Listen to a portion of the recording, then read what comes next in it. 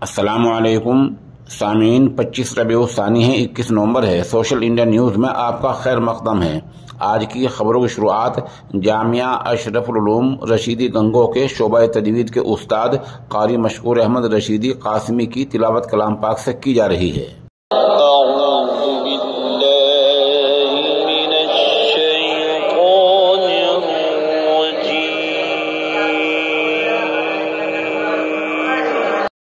بسم